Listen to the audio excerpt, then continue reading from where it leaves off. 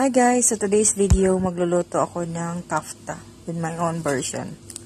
So ayan, uh, nag-prepare ako ng tomato at saka uh, potato. So binabad ko lang yung potato sa tubig. At saka onion din pala. So ayan na yung kofta meat. Ready na yan kasi ready na yan. Pag bumibili yung amo ko, uh, ready na. So pahaba yung ano sana niyan pero flat flat ko lang parang burger style. So nilagay ko na yung uh, kamatis sa isang pan kasi i-oven ko yan mamaya. So inuna ko yung kamatis paglagay. Habang nag uh, piniprito. I mean hindi ko siya piniprito, parang inano ko lang sa apoy, parang semi-grill lang yung ano, yung kafta meat. So sinunod ko na yung onion yan, pa lang. Ano lang, uh, maliit lang na anuhan yung gina, uh, ginamit ko kasi dalawa lang kami kasi sa bahay namin. So, ayan na po yung meat natin. Wala po akong nilagay na oil dyan. Ayan, kasi pusa iyang mag, ano, pusa siyang mag mantika. Kasi yung amo ko hindi mahilig sa ano, magamit ng mga mantika.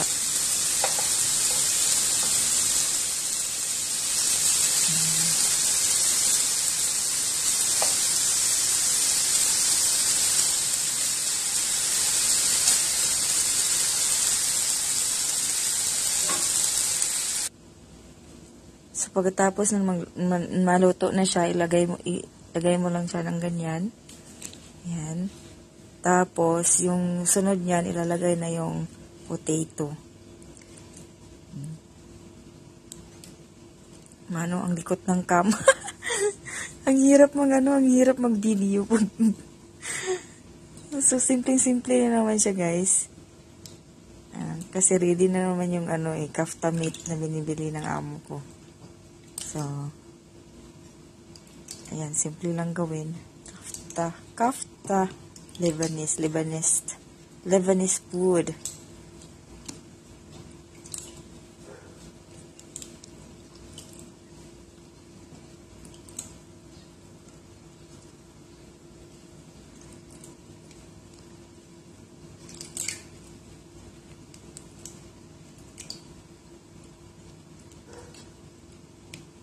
Ang ingay ng aso.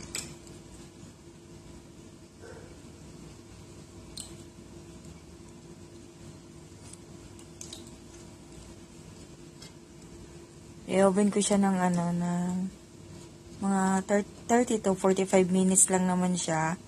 Tapos, 1, 160 or 180. Up and down yung ano, yung upway ng oven.